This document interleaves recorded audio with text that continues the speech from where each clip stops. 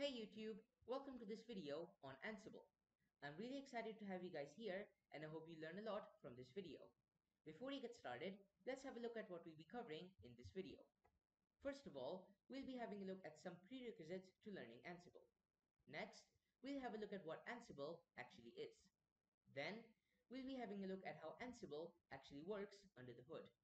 After that, we'll learn a little about YAML files and how Ansible uses them to receive instructions from the user. We'll also be setting up an Ansible environment using AWS, so we can practice the commands that we've learned in the video, as well as test everything we've learned at the end of this video with a practical project. So without further ado, let's get started. Let's first have a look at all of the prerequisites you need to know to get the full potential out of this course. First, we have the basics of AWS you need to be familiar with all of the most popular tools in AWS, like EC2, S3, and Redshift. You also need to be familiar with the basics of networking and IAM roles. Next up, we have the basics of Linux. You need to be familiar with some basic Linux terminologies and commands. Some of these include cd, sudo, and nano. You also need to be familiar in general with how Linux works so you don't get confused during the tutorial. Finally, we have programming experience. It's highly recommended that you have worked with some other DevOps tools before following along with this video. This is because Ansible is a complex software and is not really intended for beginners. I personally recommend having used at least Docker and Kubernetes before following along with this video. But if you are confident enough in your DevOps skills, feel free to continue watching. Now that we've covered the prerequisites required to follow along with this video, let's dive straight into the basics of Ansible and what it actually is. So what is Ansible?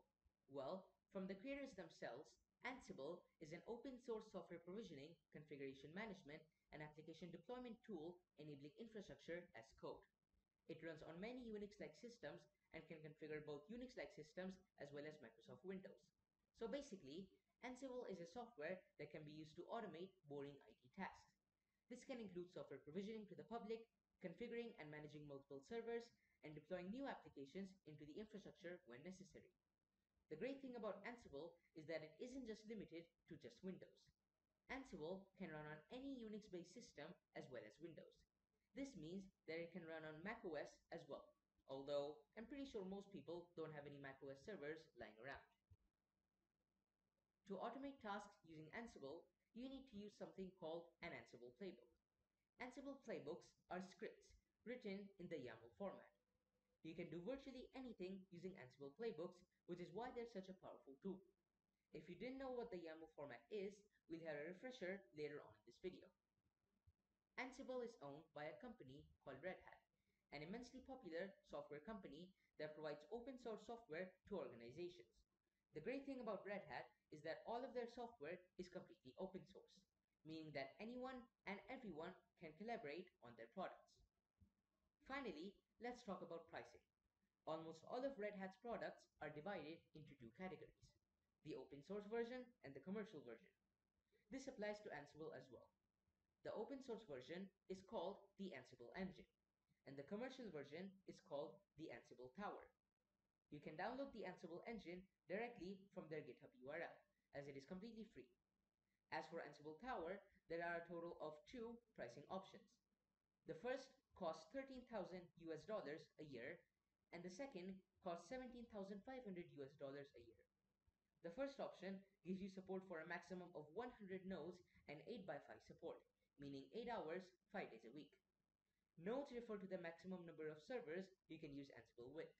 In this case, the maximum limit is 100 servers, and the second option gives you support for a maximum of 100 nodes as well, but offers 24-7 support. So if you're running very critical infrastructure and you need help immediately if something goes wrong, I suggest you go with the second option. The main difference between Ansible Engine and Ansible Tower is that while Ansible Engine is just the plain Ansible engine, Ansible Tower has extra features that you can use for debugging, monitoring, and more. Now that you've got a general overview of what Ansible is, let's have a look at how Ansible works under the hood. Ansible's infrastructure is divided into seven main parts under the hood. Let's start from the first one. First, we have the Ansible playbook. This is the automation script that we make using the YAML format, which we'll be discussing in greater detail later on. Next, we have the users. The users are the system administrators that are responsible for configuring and managing the Ansible environment as a whole. They are the ones that are responsible for creating the Ansible playbooks as well. Then we have the public and private clouds. If you have a cloud system in your infrastructure as well, you can add that into your Ansible infrastructure. It can also be commanded with any Ansible playbooks that you give it. After that, we have the CMDB. The CMDB is responsible for keeping track of the relationships between IT infrastructure and their individual configurations. This is so Ansible can confirm whether a node has access to or is able to communicate with the node that it needs to. We also have the hosts and the networking on the right. The hosts are all of the nodes other than the cloud servers that are part of the Ansible infrastructure, while the networking consists of all the different paths data can travel through inside the infrastructure. These are the same paths that Ansible uses to reach its destination node as well. The final four consist of parts that are located inside the Ansible automation engine itself. The first one is the inventory, which locally stores the IP addresses of all of the nodes in its network so that it can send the Ansible playbook over to them to be executed. The second one is the API, which is responsible for sending the Ansible playbooks to all the required nodes and making sure that they execute properly. The third one are the modules, which are reusable standalone scripts that Ansible can use whenever it needs to. The scripts are sent to each node through the API and are then executed on the target node. The fourth and final one are the plugins, which are pre-prepared scripts that can be used to enhance your Ansible infrastructure and save you a lot of time in the process. These plugins don't cost you anything extra and can save you many hours if you know how to use them properly. Now that we've discussed a little about all of the parts in the Ansible infrastructure, let's have a look at how all of these parts work together.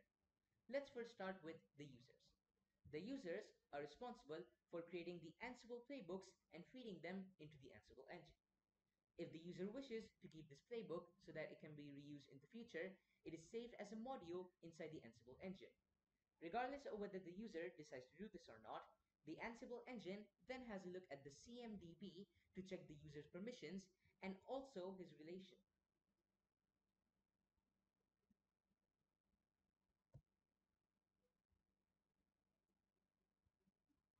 Now that we've discussed a little about all of the parts in the Ansible infrastructure, let's have a look at how all of these parts work together. Let's first start with the users. The users are responsible for creating the Ansible playbooks and feeding them into the Ansible engine. If the user wishes to keep this playbook so that it can be reused in the future, it is saved as a module inside the Ansible engine. Regardless of whether the user decides to do this or not, the Ansible engine then has a look at the CMDB to check the user's permissions and also his relationship to the target node. If everything makes sense, then when the time to execute the playbook arrives, the Ansible engine has a look at the inventory to find the target node's IP address. With the help of the API, it sends the playbook using the networking infrastructure in place over to the target node, which is then executed. Using the same method, Ansible playbooks can also be sent to any connected cloud infrastructures to be run there as well. Finally, you also have the optional ability to use plugins, which allow you to reuse existing Ansible playbooks and save you a lot of time. Now that you know how Ansible works under the hood, let's dive straight into learning how Ansible playbooks are created using the YAML format. So as we discussed previously, Ansible playbooks are constructed using the YAML format. Now, what is the YAML format, you may ask? Well, YAML is a human-readable way to write configuration files. It can also be used to create files similar to XML, where data can also be stored or transmitted. In Ansible, the YAML used inside Ansible playbooks acts like a configuration file, specifying each and every task that needs to be performed. Ansible playbooks begin by writing three dashes at the top of the file. This indicates the start of the Ansible playbook and that everything below it should be checked. Ansible playbooks are divided into sections called plays. All plays are divided into three main parts. The first one is the name of the play itself. You can name it whatever you want, but just make sure that you do not include any spaces. If you examine this line closely, you will also notice that it's made up of two parts, a key and a value separated by a colon. The key here is the word name, while the value is the word play1. This is pretty much how YAML is structured, except in some scenarios, sections may also be used to separate parts of the file from others. The second one is the host to run the commands on. It might seem a bit odd that instead of specifying an IP address, the name web server is used instead. This is because inside Ansible Engine's inventory, all of the IP addresses are split into categories. Another name for the inventory, by the way, is the host file. Each category can contain multiple IP addresses, in which case specifying the category will run the commands on all of the IP addresses present in that category. This is extremely useful if you want to run the same commands on multiple nodes at once. The final one is the task section. This section contains the actual commands that will be executed on the target node. In YAML files, sections look like this, where you specify the name, of, the section followed by a colon. Everything under a section is indented, which tells the YAML file that it's part of a section. In this case, looking inside play 1, you will see that the task section contains two key value pairs and two subsections. And yes, it's possible to create subsections inside YAML files as well. The first key value pair is specifying the name of the task that needs to be run on the target node. In this case, it's called install Apache, which is quite self-explanatory. Then we have our first subsection called yum. This refers to the yum keyword in CentOS, which is a distribution of Linux. Yum is the default package manager in CentOS, which is used to install applications using the terminal directly. What we're doing here is basically running a yum command to install Apache on our target node. The yum section has two key value pairs as well. The first one is the key name followed by the value Apache, and the second one is the key state followed by the value present. The first key value pair is responsible for specifying the name of the software you want to install. In this case, the name of the software is Apache. The second key value pair is responsible for specifying the way in which the software should be installed.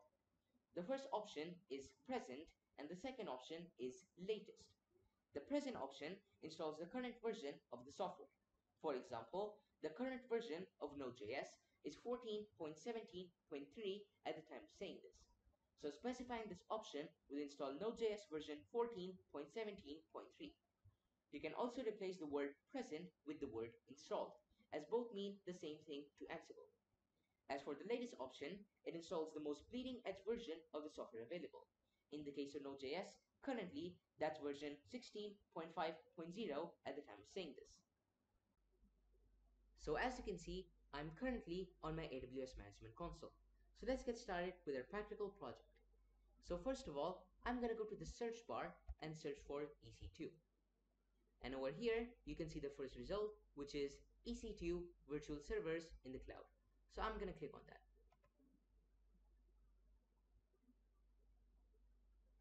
Next, we have our resources. So over here, I'm going to click on the instances running link over here. So as you can see, I currently have zero running instances. So now what we're going to be doing is creating two EC2 instances. One of them is going to be our master and the other is going to be our slave. So we're going to be installing Ansible on our master and we're going to be using the master to communicate with the slave. So let's get started. Now first of all, I'm going to click on the launch instances button over here and I'm going to scroll down and select Ubuntu Server 20.04 LTS. Then I'm going to choose my instance type. So over here, I have multiple options and by default, it selects the one that is eligible with the AWS free tier, meaning that it won't actually cost me anything. So this is one virtual CPU and one gigabyte of memory. So I'm going to click on next. And then I can configure the number of instances that I want to create. So in this field, I'm going to enter 2 because I want to create two EC2 instances so I'm going to click on next after that. And over here I can configure storage. We're going to leave it as it is. So 8 gigabytes is the default amount of storage that you get in an EC2 instance. So I'm going to click on next. Then we have our tags. I'm going to skip over those. And then we have configure security group. So over here, we're basically creating the security group for our EC2 instances. So in this case, the default name is launch wizard 1, as you can see over here. And this 1 increments if you have multiple EC2 instances. So it can be launch wizard 1, 2, 3, etc. So, so I'm to select it as it is, and you can see that SSH is enabled for our EC2 instances. So I'm to click on review and launch. And then over here you can see review instance launch. So all of our settings are configured correctly. So then I'm to click on the launch button. So over here, it gives me a few options. So either I can choose an existing key pair, proceed without a key pair, or create a new key pair. Now a key pair is basically a public key and a private key and together they allow you to connect your instances securely. So it's so hackers can't hack into your system basically if you have a public IP address. So in this case what I'm going to be doing is I'm going to be creating a new key pair because as you can see I currently don't have any key pairs and I'm going to create a key pair called Ansible.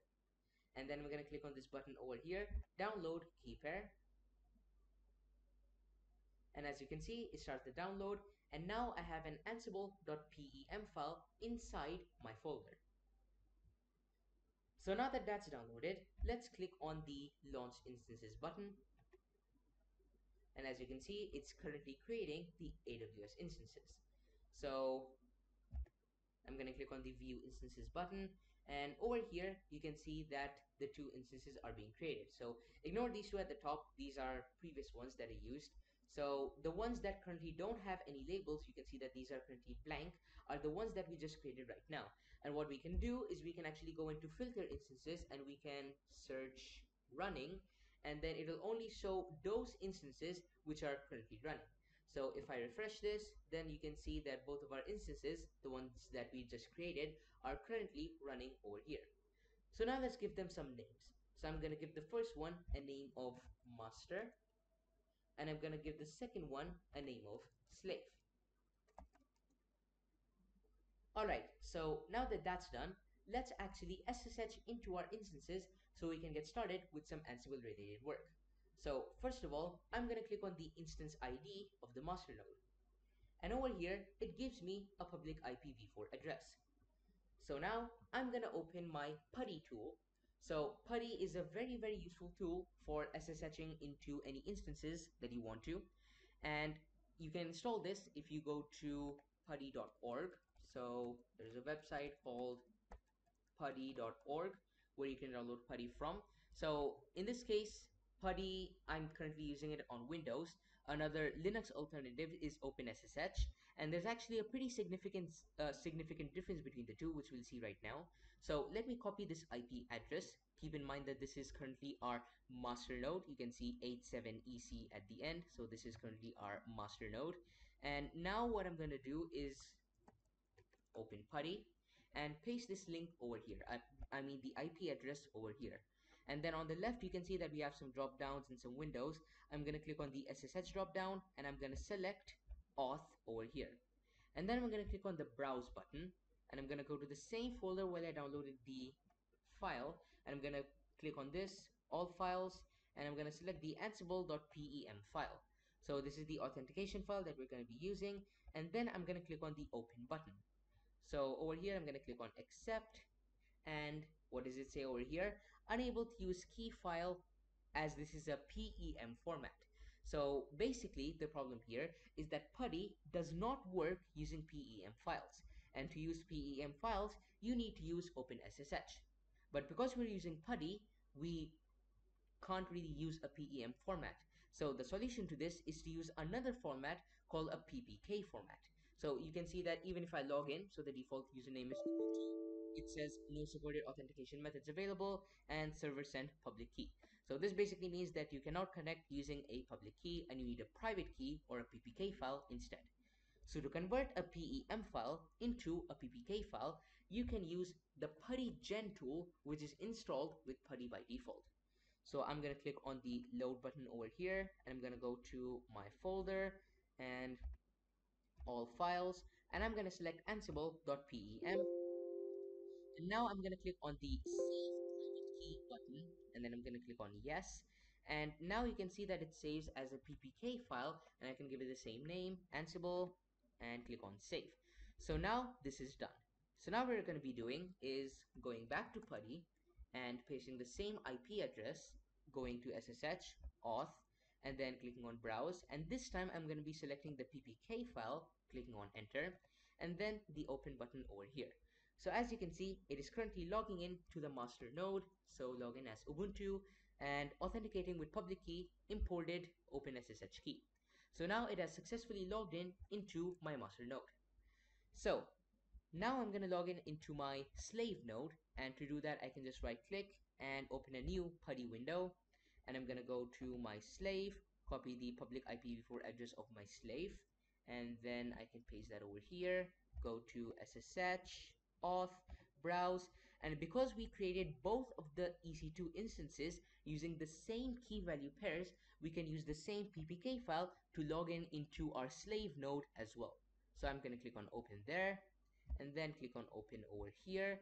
And now we have our worker node over here. So I'm going to log in as Ubuntu and now you can see that it is logged in over here as well. Same thing, authenticating with public key, imported OpenSSH key. So now I'm going to bring up the other PuTTY window. So here's the master and here's the slave. So I'm going to put the master on the left and I'm going to put the slave on the right over here. So now we have them organized. So now let's get started with some actual Ansible work. So before that, we have some prerequisites. So first of all, we need to run some commands on the master node. So the first one is sudo add sudo apt add repository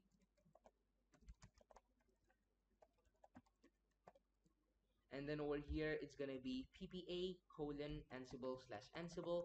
So this is basically adding a ansible repository to our node. So i'm going to click on enter. And now it's going to activate the ansible archive so that we can access it from our node over here. So as you can see it's almost done. So as you can see we have just added the ansible repository. Now we need to update our system. So that's going to be sudo apt update and now our system is updated. And now what we're going to be doing is running sudo apt install ansible. So if we didn't run the first command which was the repository one then we wouldn't have access to this command called sudo apt install ansible because you need to add this repository separately. So because we added the repository we can now install ansible using the sudo apt install command.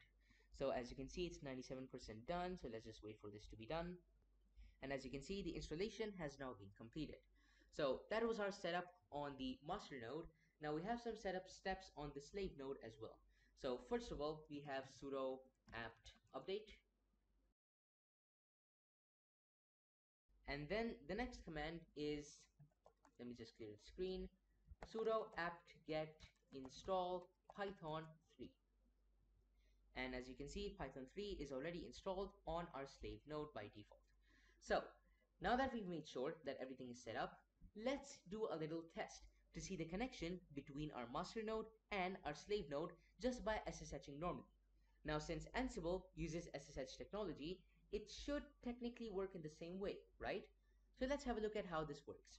So first of all, I'm going to enter the SSH command, so SSH, and the user for our slave is Ubuntu, so SSH Ubuntu, at and then the IP address so 172.31.26.154 so I'm gonna SSH I'm gonna write yes and over here it says permission denied public key. So this is actually an issue that occurs whenever you want to sync up two instances to be able to SSH between them and what you need to do to solve this issue is basically create or generate an authorized key so that the master node has permission to contact the slave node. So to do this, we're going to go into the SSH folder. So all instances, all Linux machines have a .ssh folder which you can access from the root. So you can see I'm currently on the root. We have the tilde over here by typing cd space .ssh. So this is a special folder called .ssh which isn't visible normally if you just do a normal ls. So if I do an ls, you can't see the folder over here, but if I enter cd.ssh, then it is accessible. This is because this is a private root folder, so it's basically a very sensitive folder, and if you screw something up over here, then it can have really big consequences. So that's why Linux secures this. But anyways, now that we're in the folder, let's have a look at the ls, and you can see that we have two files over here. Now let's do the same thing over here. So cd ssh on our worker node and then ls. And over here we only have a authorized keys file.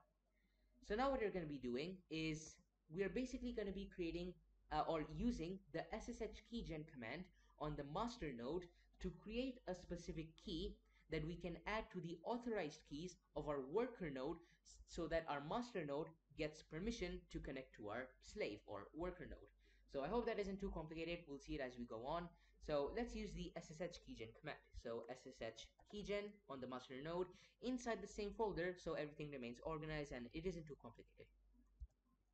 So now over here, enter file in which to save the key. I want to do the same file. So I'm just going to click on enter, then enter the passphrase. I'm going to keep it as empty. So enter and enter the same passphrase again. It's empty. So enter. And now my key has been created. So now I'm going to clear the screen and do another ls. And as you can see, we have two new files, idrsa and idrsa.pub. So I'm going to use the cat command, so sudo cat idrsa.pub. And as you can see, here is the code that we're going to be pasting into our slave node so that our master node can contact the slave node. So I'm going to copy it over here. Copy that and then I'm gonna go to my slave node and I'm gonna open the authorized keys file. So sudo nano authorized keys. And over here you can see we already have one key. So we can just go to the next line and we can paste it over here. And then control S control X so exit. And I'm gonna clear the screen on both sides. Now I'm gonna run the same SSH command again. So I'm just gonna go back to my home over here and SSH Ubuntu at 172.31.26.154. So as you can see, it has SSH successfully. So you can see that our IP address after SSHing is 26154 at the end. And you can see that our slave node is also 26154 at the end. And if I exit from the SSH, you can see that we now reverted to the same IP address of our actual master node, which is uh, at the last five digits are 18255 instead of 26154. So now let's clear the screen over here as well. And now let's get started with actually running some Ansible playbooks. So over here, I have some Ansible playbooks ready. So this is our first Ansible playbook, and let's start from the top. So first of all, we have the three dashes, and these three dashes basically define the start of our Ansible file. Then we have this field over here. So we have our name or well the key which is called name separated by the value which is play1 and keys and values can be written like this without this dash over here. But if they're written in a dash that means that they can be structured inside a list format meaning that you can put multiple values which have this dash right beneath each other without indenting. So that's pretty cool. Although this one over here does not have any uh, dashes over here. So you can't do that with this specific key value pair. So over here we have a key value pair name. So the key is name and the value is play one. So this basically refers to the the the Ansible playbook itself.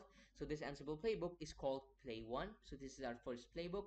And then we have hosts. So host refers to the the host that we're basically targeting with our command so in this case, I'm targeting web server. So we're going to have a look at what this is in a moment, but let's just say that this is a random IP address. Then we have the task section. So over here we can define our actual tasks and then inside the indentation we have another name key value pair. So in this case the key is name and then the value can be anything. It can be capitalized it can have spaces whatever you want basically it's like a description. So in this case i'll just i just called it install node.js so obviously by the name you can tell that we're going to be using ansible to install node.js remotely onto our slave. And then we have another key value pair become yes And the reason we use this over here is because to install any software or almost any software, including Node.js, you need to have at least temporary root privileges. So to do this, you can just use become yes. So it will add sudo to the beginning of whatever command that you're running. And then we have our apt command. So this is how it's structured. We have our apt section and then inside we have the name of the software in this case it's node.js so it has to be exactly how it's written on the terminal so this is how it's written node.js and then we have state. Now the state can either be present or it can be latest. So present basically refers to the LTS version. So whatever the LTS version of Node.js is, it's going to be installing that one. And if we replace that with latest, it's going to be installing the bleeding edge version of Node.js instead, whatever that may be. And same goes for any other softwares that you may install so that's basically what the state and present key value pairs do. So now that we know what this ansible playbook actually does let me just resave this and copy the code minimize this. And now i'm gonna basically create this on my master node. So sudo nano play1.yaml and i'm gonna paste everything over here. And i'm gonna click on control s control x. And now we have our first YAML file saved over here so now what you're going to be doing is using the Ansible playbook command to actually run our Ansible playbook.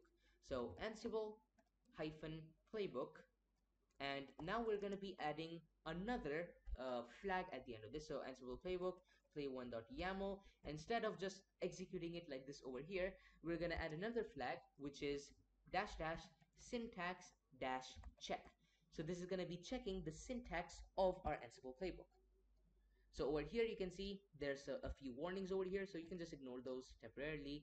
And over here you can see that we don't have any other errors. So if there are any syntax errors then they come in red. So we're going to be fixing these warnings right now. So now what are these warnings exactly? So now that we know that our playbook is fine what are these warnings about? So provided host list is empty only localhost is available note that the implicit localhost does not match all. And the second warning says could not match supplied host pattern ignoring web server. So let's have a look at our Ansible playbook once more. So that's sudo nano play1.yaml. And over here you can see that our host is called web server. So what you're going to be doing is CDing basically. So we're going to be CDing into the Ansible folder. So that's cd slash etc slash Ansible so you're going to start from the root and then we're going to go to the uh, etc folder and then the ansible folder. And now if i do an ls over here you can see we have two files ansible.cfg and hosts. So we're not going to go to the ansible.cfg file. I'll just show you what it is though. So this is basically the configuration file for ansible and you can configure a lot of stuff over here if you need to. So you can see that this is a very very long file and it basically contains tons of stuff that you can edit inside Ansible to make your experience more smoother or do any custom stuff if you want to. So I'm just gonna remove this for now. And we also have the second file which is the host file which is what we're going to be editing right now. So that's going to be sudo nano hosts. And over here we have a file called hosts. So now what we're going to be doing is defining a section. So you can see an example over here. So I'm just going to go to the top. You can see that we have this thing over here. So it's commented out these five lines. But what these five lines actually do I'm going to be explaining right now. So first of all in the top line we have two square brackets and then inside the square brackets we have web servers. So this is basically how you define a section. So a section can contain multiple IP addresses multiple domains multiple hosts I guess. And when you define this name inside a YAML file. So for example, I inside the host section, I just write web servers. It'll send that Ansible playbook to all of the IP addresses or domains under that section. So in this case, it's going to be sending that command to all four of these domains or IP addresses. And if there's only one, it sends it to one. If there's two, it sends it to two, etc. So instead of using the section, we can also specify the IP address directly. So you can just write the IP address down normally and then you can just type that same IP address inside the file and it'll work perfectly. But the reason this is not a good idea, this isn't a very good uh, a good best practice, and the reason this is so is because it's actually very unsafe to keep your public IP address inside your YAML file. Because if someone gets access to it, then they immediately know your IP address or the IP address of your host, and they can easily target it, which is pretty unsafe. So to combat this issue, you can basically just write the name of a section so for example web server or web servers and give multiple names under that specific section and then it'll just contact all of those sections directly and you just have to specify the name. So that's pretty easy to handle and much more secure. So let's do the same thing and inside the YAML file we created a section or what we specified in the host field was web server like this and then we're going to be entering the IP address. So in this case it's the slave over here. Uh, so 172 that's going to be 172.31.26.154 and then we're going to save the file and I'm going to exit. And now it has been saved. So now I'm going to go back to my root folder so cd tilde. And now I'm going to be running my Ansible playbook. So Ansible playbook play1.yaml and just to show you that Node.js isn't actually installed on the worker node, I can type the Node.js command over here and you can see command Node.js not found but can be installed with this command over here, which is what we're going to be running through the YAML file, except we're going to be running this command completely remotely. So this command is basically going to be run remotely through the Ansible playbook. So now let's execute the command. And you can see this is basically how the output looks like. So first of all, we have the play. So this specifies the name of the play. So it's called play one. Then we have the task. So over here basically looks at the IP address and confirms whether it's a valid IP address or not. So in this case, it says okay, meaning that this is in fact a valid IP address and it recognizes it. And you can see that there aren't any errors either. So currently it is installing Node.js. So this will take some time. So as you can see, we now have an output that says changed. So this basically refers to changed IP address and the IP address is 172.31.26.154 and then over here we have a recap of basically everything that happened. So over here let me just full screen this. We have the IP address uh, and this is highlighted in yellow to refer to the fact that this was in fact changed uh, so this is basically the IP address that we contacted or the node that we actually changed something on. That's what this refers to. It's not referring to the fact that the actual IP address changed. That didn't happen. It's referring to the fact that something on this specific IP address, on the node on the specific IP address has changed. So that's basically how it works. And then over here we have an OK field. So OK equals 2. So we did two things basically. Number one, installing Node.js. And number two, actually looking for the IP. So both of those were successful. Then also we have an unreachable error. So if you didn't specify that SSH thing over there, then it would have actually given us a unreachable output. So this would be 1 and it would be uh, color coded in red. And then it will also be failed. So this is also red. And then we also have skipped. So if something is found unnecessary by Ansible, then it's just directly skipped to save time. Or if it's cached, for example, either way, it's just skipped. Then we have rescued. So in the case that there is any uh, critical issue that Ansible can rescue, it rescues it. And in that case uh, it actually uh, it shows up over there. So for example if it prevents a kernel panic or something like that then it'll probably show up over there.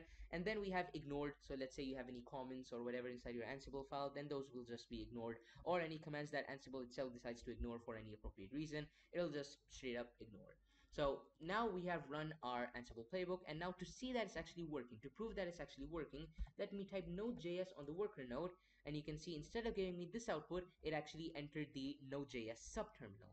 So I'm just going to control C out of this, but you can see that Node.js has now been successfully installed on our slave node. So now that we're done with the first Ansible playbook, let's move on to the second one.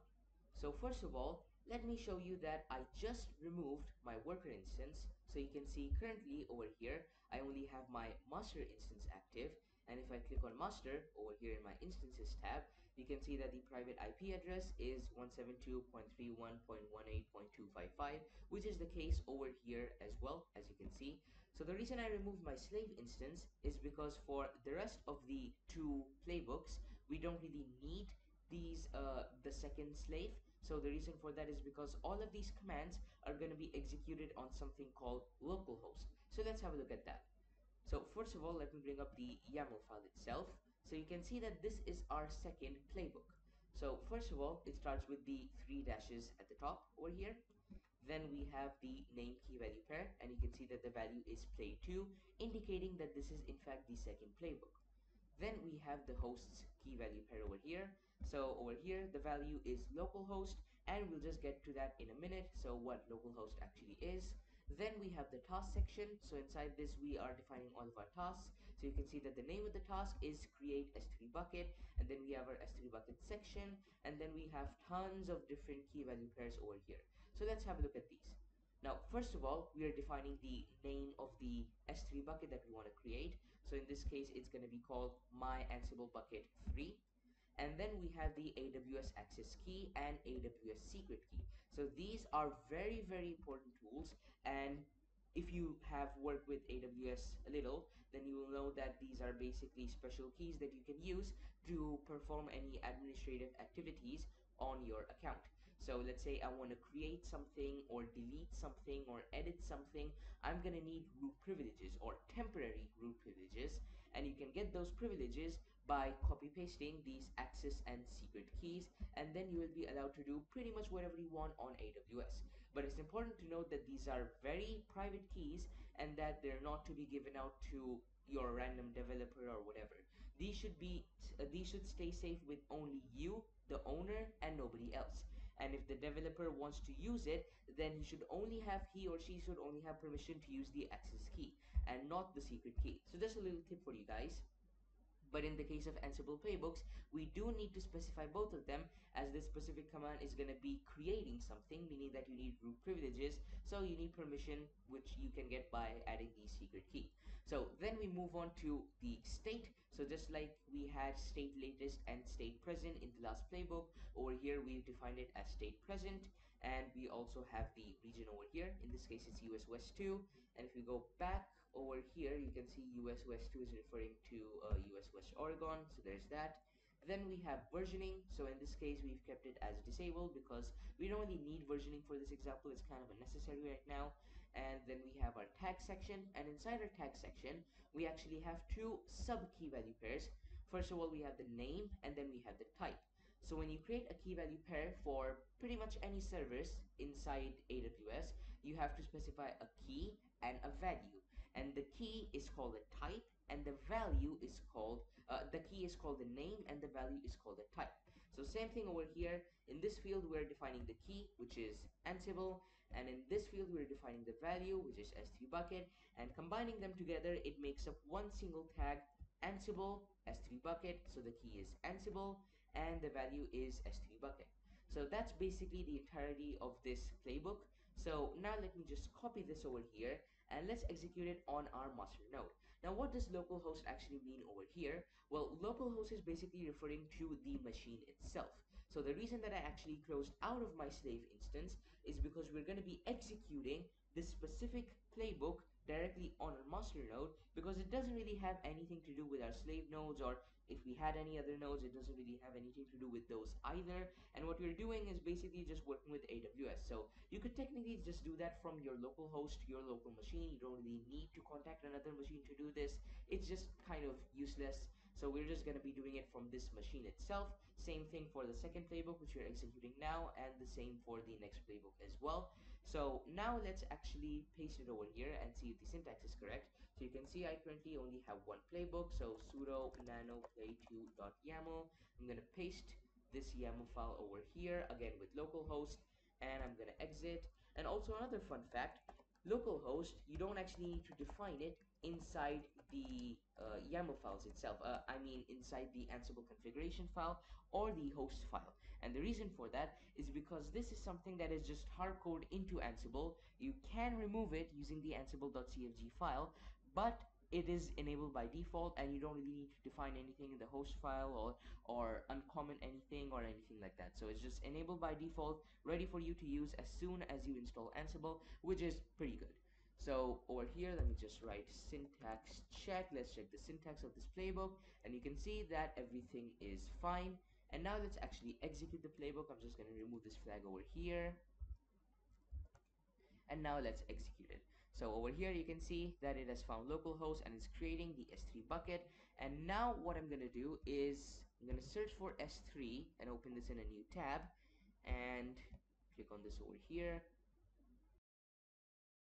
And as you can see we have my Ansible bucket 3 and you can see that it was created at this time over here and you can see that's the exact time in my computer as well. So that is in fact the current time meaning that this did in fact create using Ansible. And just to prove that to you guys I'm gonna select this over here and I'm gonna delete the bucket. So type the name of the bucket my Ansible bucket 3 delete the bucket. And now I'm just gonna refresh the page so you can see that clearly we do not have any other buckets on this page right now. So now what we're gonna be doing is going back clearing the screen and we're gonna execute the same command once again. And you can see that it has now executed. And now I'm gonna be refreshing the page. And you can see that we now have the bucket over here. Again this is the same time matching my computer time as well meaning that this is in fact working perfectly. So now we have covered the second Ansible playbook. Alright, so now that we're done with our second Ansible playbook, let's move on to the third and final one. So you can see over here that I have my master instance open. So now let's have a look at our Ansible playbook. So let's start from the top. So first of all, we have our three dashes. Then we have our name key value pair indicating the name of the file. So in this case, it's play3 or playbook3. Then we have our hosts key value pair. So over here we're defining the host in which the YAML file is going to be executed on. In this case it's localhost. Then we have our task section and this is just all of the tasks that we're going to be executing inside the YAML file.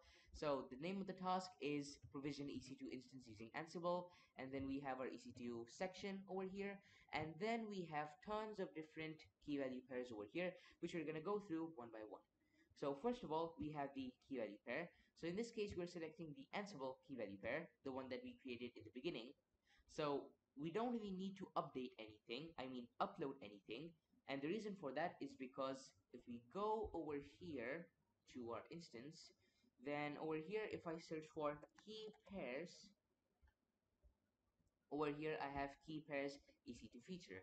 So I can open this in a new, in a new tab and you can see over here that we have a key called Ansible, meaning that the same PPK and PEM files that we created are stored directly inside AWS, so we don't actually need to upload it ourselves to the EC2 instance, which is pretty damn cool. So now going back to the YAML file over here, next we have the instance type. So the instance type that we chose is t2.micro. So in this case, it is the Amazon free tier so that it doesn't charge me. If you have the Amazon free tier, then I highly recommend using this specific instance as we've been using it from the beginning of this course. Next, we have the image. So over here, we have the image ID. So if I click on the launch instances button over here, over here, if I scroll down, you can see that I have Ubuntu Server 20.04 LTS. So over here, I have a specific code so AMI 03D5C68BAB01F3496. Very long code, but you can copy this and paste it into your YAML file to indicate to AWS that you want to create an EC2 instance with this specific operating system. So you can see that's exactly what we did as well.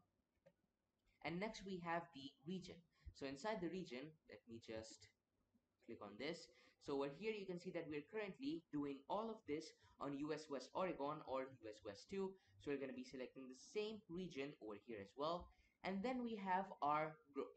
So group basically relates to subnet group and we're going to be touching on this in just a moment. Next we have the count. So this basically indicates how many EC2 instances we want to create. So in this case we just want to create one. Then we have our VPC subnet ID. Again, we're just going to touch on this in a little bit. Then we have the assigned public IP key value pair. So over here, we're just going to keep this as yes, meaning that we want a public IP for our EC2 instance. Next, we have our AWS access key and secret key, and that basically concludes our YAML file over here. So now you can see that inside security group and inside VPC subnet ID, the fields are currently blank, meaning that we need to fill them in. So let me just minimize this and show you how you can create a subnet group and a VPC subnet to add to your YAML file. So first of all, I'm going to be duplicating this tab. So I'm going to make two duplicates. And in the first one, I'm going to be searching for subnet group. Over here, subnet group. and you can see we have an option over here that says if I search for uh, security group my bad security group. Over here we have security groups EC2 feature. And you can see that I'm currently in my security groups. And over here I'm going to be searching for subnet. And over here we have subnet VPC feature. So I'm going to click on that. And now let's go to the first one. So first of all we need to create a security group where our EC2 instances are going to live and how they're going to be secured so I'm going to click on the button that says create security group and I'm going to create a new security group and let's call it launch wizard 2 in this case launch wizard 2 and then in the description I'm going to type allows SSH access to developers. And then we have the VPC this is the default VPC that we're doing everything on so I'm just going to select this one then we have the inbound rules. We're going to be configuring three inbound rules and three outbound rules just so that we don't have any complications later on. So first of all, we have our first inbound rule. So this is going to be all traffic. So it's going to allow all traffic to pass inbound and we're going to give it a source of IPv4. So all IPv4 addresses can pass. And then we also have another rule and over here we're going to give it as IPv6 and then we have a third rule which is for SSH and this is by default on port number 22 using the TCP protocol. And then in the source we're going to be configuring anywhere IPv4 I'm not going to bother adding IPv6 because I have a IPv4 computer. And if you want to add it then sure you can but otherwise you can just leave it as it is. And we're going to be doing the same thing over here. So you can see right now I just configured this for IPv4 all traffic. Second one all traffic. And this is going to be for IPv6 third one is going to be SSH and then this is going to be for IPv4 over here.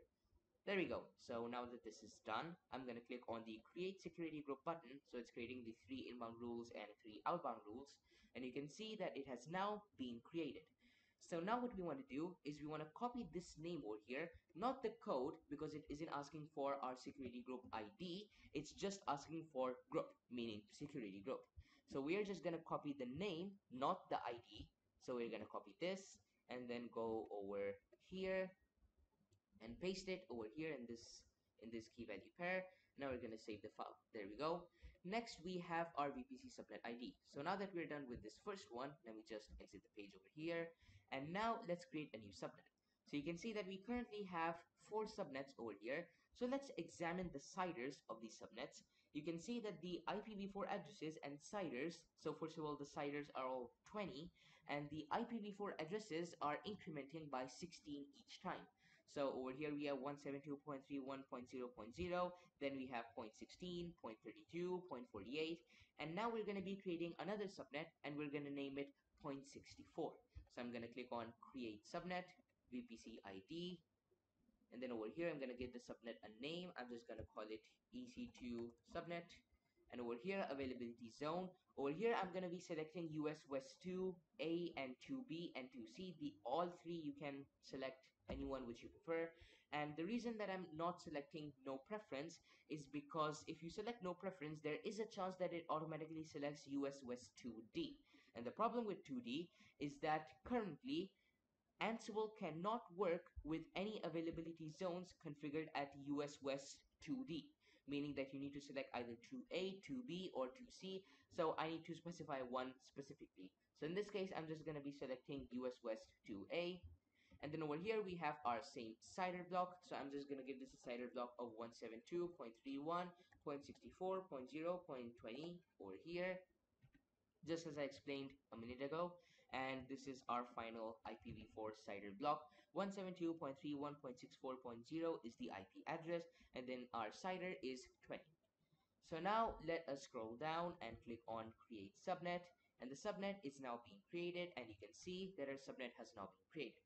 Now because inside this YAML file it's asking for our VPC subnet ID we're going to be pasting the ID and not the name. The name is EC2 subnet but the ID is this over here so to copy this I can just do I can click this over here and then copy this from here and that's all we really need so I'm gonna click on this paste that over here save the file and we're pretty much done with our Ansible playbook. So now I'm just to close this window over here and this one. So now you can see over here, let me just close running.